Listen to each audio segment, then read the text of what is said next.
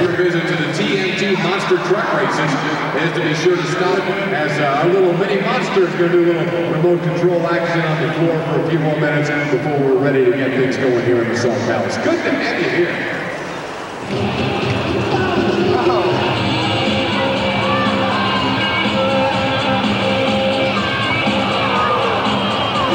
To the superstars of monster truck racing in the major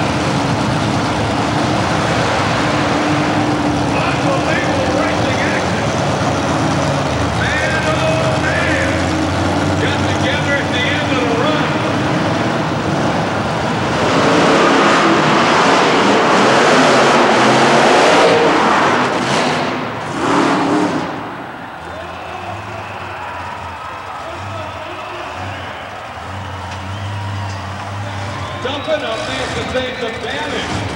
USA 1 is Tuff Enuff. Well, doesn't have any front sheet metal damage left anyway.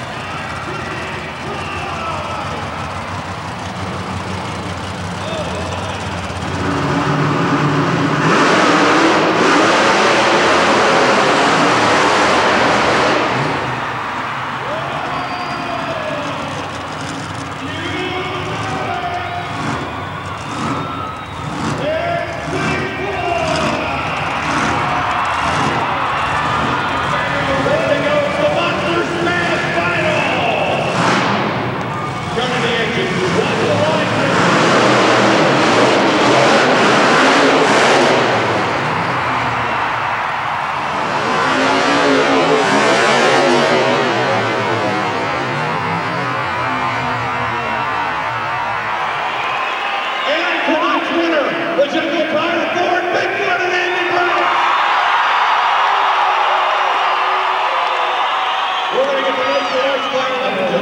your good me ready to go well full till tomorrow afternoon.